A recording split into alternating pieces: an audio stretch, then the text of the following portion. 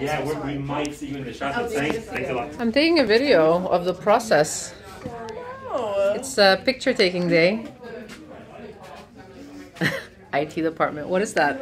This is for calming your senses. It's called calm strips. It's a strip that calms you. Yeah.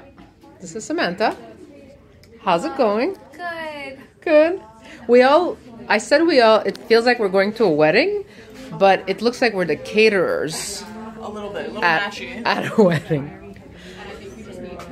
I'm taking a video of the photography session.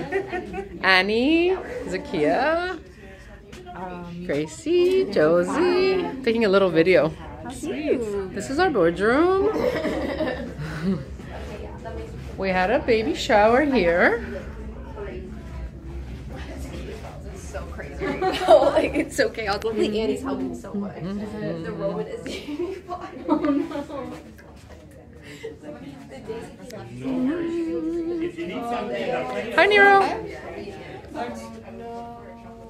I'm taking a documentary of the of filming session. this is Vincent. Hey! Little tour of our office. Yeah, so I've been wanting to do this video for a long time actually. To give everybody a little a little view of our office. This is our office, Keyork Immigration Law. This is our waiting room. This is our reception area. I love tango, so we have a lot of tango art painted by my really good friend Ricardo. Reception, we love our beautiful reception table. We have an office here where we have three team members that sit here. We have two team members here. This is my office.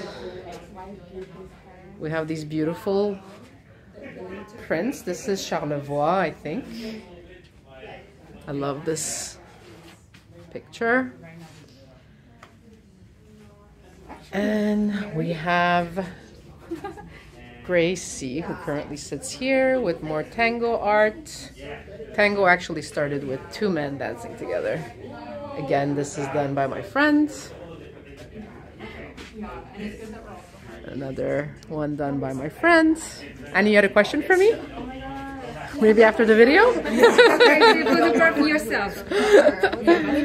and again, it's okay. The boardroom.